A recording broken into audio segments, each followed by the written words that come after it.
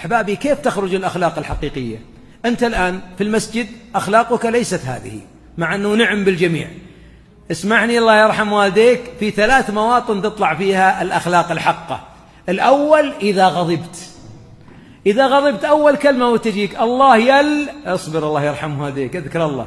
وبعضنا من يوم يركب السيارة لف عليه واحد الله الله يجعلها في وجهه الله يا بسم الله أنت وأنت تقسم جهنم للناس. اركض في. اجلس في بيتك إن كنت ستخرج تشتم عباد الله. وبعضهم يخرج كل من أخطأ عليه اللهم اغفر له. وإذا ما غضبوا هم يغفرون. الله يتوب عليه الله يرزقه الله يسعده الله يكفينا شره. هذه أقصى إذا زعل مرة قال الله يكفيني شره. بيض هذه دعوة جميلة. أما ذاك أطفالنا إذا غضبوا لعنوا. من جاب اللعنة؟ من وين جاب ابني وابنك اللعنة؟ جابها من لساني ولسانك. لأن إذا غضبنا أعطيناها وحده صحيح؟ فهذه التي يأخذها منا أبناؤنا ولذلك يقولون أخلاق الآباء والأمهات يفضحها الأطفال صحيح؟ إذا زعلوا أعطاك واحد بس سامعها من أمه الله يجزاك خير.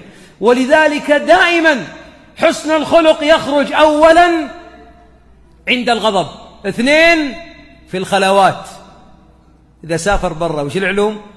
الثالث داخل البيت. خياركم خياركم لنسائهم. ولذلك هذه الثلاثة المواطن تخرج صاحب الإيمان الذي يكظم غيظه طاعة للرحمن فيحرم الله عن وجهه النار. في حديث حسن من كف غضبه كف الله عن وجهه النار يوم القيامة. يا ربي لك الحمد. أخي الجائزة. ويقول قائل يا شيخ الله خلقني هكذا. الله خلقني غضوب. وش تبيني أسوي؟ أصبر طيب. أنت أنت تسولف لسانك طويل. أصبر شوي. الله يجزاك خير. والله إن الغضب يستطيع الإنسان أن يكبحه وأن يهدئه وأن يسكنه وأن يتخلص منه. ما دليلك؟ قول الحبيب عليه الصلاة والسلام إنما الحلم بالتحلم. والحلم ما هو؟ ضد الغضب. الحلم أشق أنواع الأخلاق على المؤمن. صعب جدا. ممكن تتخلق الكرم.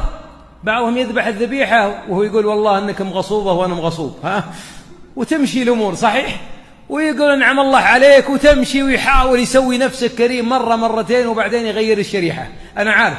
لكن الكلام الكرم ممكن ممكن يتصبر عند طبيب وهو يخزه عض على لسانه وتمشي. لكن حليم في موقف الغضب يقلبه يرد الأسى والأخشن بالأحسن ما يلقاها إلا الذين صبروا. ادفع بالتي هي أحسن. ما الذي يأمرك بدفع التي هي أحسن؟ إنه الله. اللي خلقني وإياك يعلم أن عندنا أخلاق نارية وأنها أخلاق غليان وهي من الشيطان. الله يقول ادفع بالتي هي أحسن. لمن؟ اللي يدفعك بالأخشن. هم أحسن. يعني شكرا تقول جزاك الله خير كل واحد يفعلها.